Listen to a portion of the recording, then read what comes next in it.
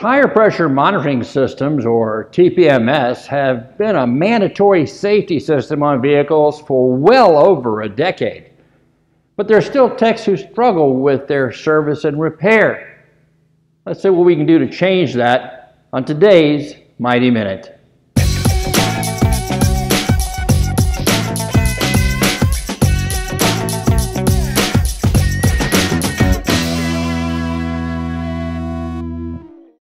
As with any other vehicle system, the key to being comfortable in the service and repair of TPMS begins with an understanding of how the systems work. Back in the late 90s, there was a massive recall of certain Firestone tires that were related to a series of serious rollover crashes. But the issue wasn't the tire alone. Underinflation was determined to be a contributing factor. These incidents also gave birth to the TREAD Act, enacted by Congress back in 2000. This legislation covered a lot of areas, including a requirement that OEMs develop a means to monitor tire inflation pressures and warn the driver should an underinflated tire be detected. The first solution the OEMs came up with was called an indirect system. Indirect in the sense that there are no actual sensors in the wheels reporting air pressure to a TPMS control module. What the OEMs did was piggyback on the vehicle's existing ABS and traction control systems.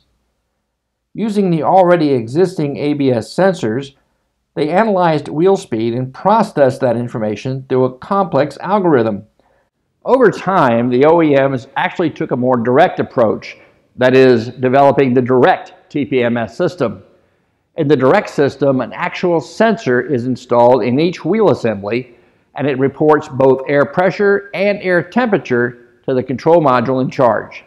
Banded sensors are sensors that are mounted on the center line of the wheel using a large hose-style clamp.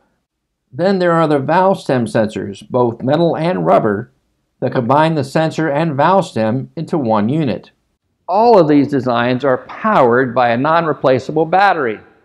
It was originally estimated that these batteries would last approximately 10 years, and that could mean service opportunities for you, inspecting and replacing those sensors that are failing due to their age. Both indirect and direct systems use a dash warning light to let the driver know when the tire has lost air pressure beyond the threshold programmed into the system, typically based on 20% of the vehicle's cold tire inflation specification. Some vehicles equipped with direct systems can also provide dash displays showing the actual pressure in each individual tire, making it even easier for the driver to verify the low pressure warning or to just check his tires without grabbing an air gauge. All of these systems have some very unique service needs, but that's the topic for our next Mighty Minute. Thanks for watching.